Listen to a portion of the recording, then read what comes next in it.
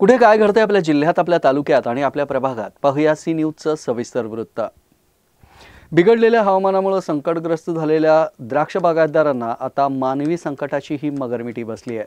रोगांच्या हल्ल्यानं द्राक्षबागा उद्ध्वस्त होत असताना त्या वाचवण्यासाठी आणलेली औषधं आता कुचकामी ठरत आहेत निसर्गाच्या संकटापेक्षा बोगस औषधांच्या माध्यमातून लाखो रुपयांचा फटका शेतकऱ्यांना बसतोय. पाहूया या संदर्भातला सी न्यूजचा हा स्पेशल रिपोर्ट जिल्ह्याच्या पूर्व भागात द्राक्ष क्षेत्र मोठं आहे. एक एकर द्राक्ष बागेसाठी सुमारे एक लाख रुपये केवळ औषधांवर खर्च होतात. वाढत्या महागाईत औषधांचे दरसुद्धा वाढत चालले आहेत.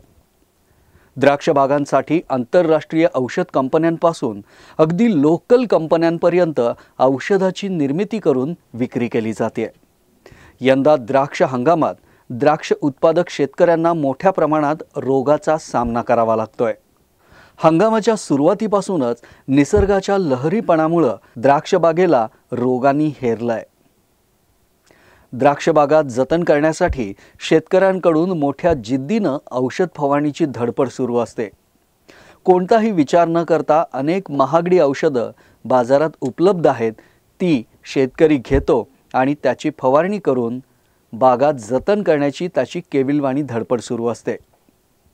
पण बागा वाचवण्यासाठी फवारणी केलेल्या या औषधांना गुणवत्ता नसल्यामुळं हजारो रुपये खर्च करूनही काही औषधांचा अपेक्षित असा प्रतिसाद त्यांना मिळताना दिसून येत नाही. अनेक द्राक्ष बागायतदारांना याचा अनुभव आला आहे त्यामुळे हजारो रुपये खर्च करूनही द्राक्ष बागांना रोगाचा मोठा फटकाच बसत चालला आहे तासगाव तालुक्यात अनेक बोगस औषधांची राजरोसपणे विक्री सुरू आहे. काही बनावट कंपन्यांमार्फत औषधं शेतकऱ्यांच्या माथी मारली जात आहेत. बोगस औषधांप्रमाणेच बोगस औषध कंपन्यांचाही आता सुळसुळाट झाला आहे केवळ लेबल लावून कंपनी प्रॉडक्ट असल्याचं भासवून अनेक बोगस औषधं शेतकऱ्यांच्या माथी मारली जात आहेत.